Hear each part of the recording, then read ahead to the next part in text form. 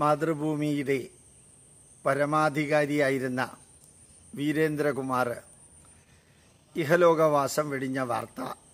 അതാണ് ദേശാഭിമാനിയിൽ ഇന്ന് രാവിലെ തൃശ്ശൂരിൽ നിന്ന് യാത്ര പുറപ്പെടുമ്പോൾ ആദ്യം കാണാൻ വിധിയുണ്ടായത്. ശ്രീരാമന്റെ ദുഃഖം എന്ന പുസ്തകം എഴുതിയ അദ്ദേഹം ബാബരി മസ്ജിദ് എന്ന വിദേശി ഭാരതത്തിൽ ആക്രമിച്ച് കയറി അവിടെ ഉണ്ടായിരുന്ന ശ്രീരാമക്ഷേത്രം തകർത്ത് ഒരു പള്ളിക്കെട്ടിടമുണ്ടാക്കി നാനൂറ് വർഷമായിട്ട്. അതിലൊരാരാധനയും ഒന്നുമില്ലാതെ ഇരിക്കുന്ന ആ കെട്ടിടം പൊളിച്ചതിന്റെ ദുഃഖമാണ് ശ്രീരാമന്റെ ദുഃഖമായിട്ട് ശ്രീ വീരേന്ദ്രകുമാർ എഴുതിയ പുസ്തകം. അത് കോഴിക്കോട് എപ്പോൾ ഇലക്ഷന് നിൽക്കുമ്പോഴും ജയിക്കാനുള്ള ഒരു ഗ്യാരണ്ടി കൂടിയായിരുന്നു ആ പുസ്തകം.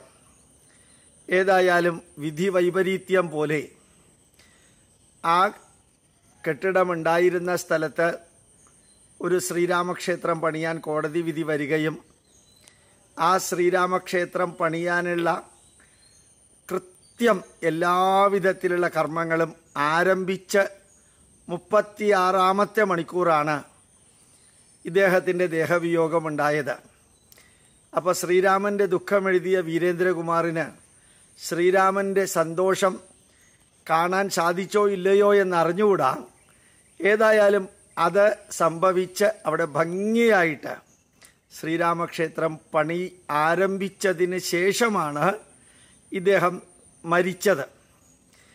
അതേപോലെ തന്നെ ഇവിടെ ഒരു കാരണവശാലും ബി ജെ പിയുടെ സർക്കാർ ഭാരതത്തിൽ വരില്ലെന്ന് അടിയുറച്ച് വിശ്വസിച്ച ഇ എം ശങ്കരൻ നമ്പൂതിരിപ്പാട് അടൽ ബിഹാരി വാജ്പേയി പ്രധാനമന്ത്രിയായി സത്യപ്രതിജ്ഞ ദിവസ് ചെയ്ത ദിവസമാണ് മരിച്ചത്.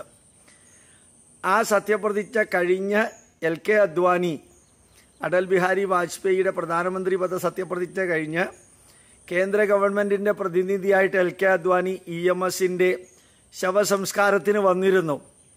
അദ്ദേഹം കൂടിയാണ് മരിച്ചതെങ്കിൽ ബി ജെ പിയുടെ ഗവൺമെന്റ് വന്ന് ആ ദിവസമോ അടുത്ത ദിവസമോ ആണ് അവസാന ശ്വാസം വലിച്ചത്.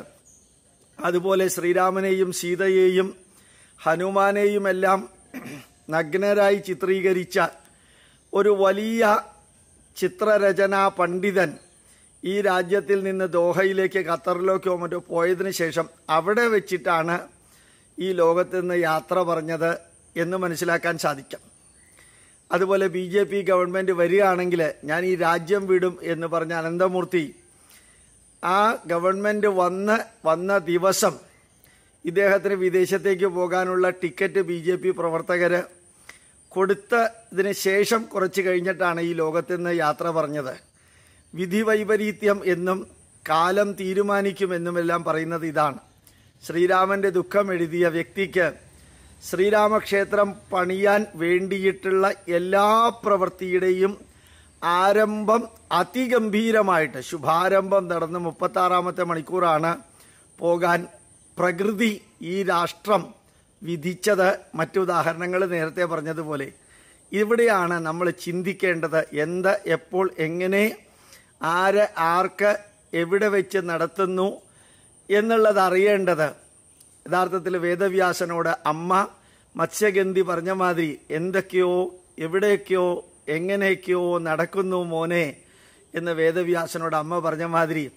പക്ഷേ ഈ നടക്കുന്നതിനെല്ലാം പ്രകൃതിക്കൊരു നിയതിയുണ്ട്. അങ്ങനെ വീരേന്ദ്രകുമാർ പോയത് ശ്രീരാമന്റെ ദുഃഖമെഴുതിയ വ്യക്തി പോയത് ശ്രീരാമന്റെ സന്തോഷം കണ്ടിട്ടാണ്. പ്രണാമം.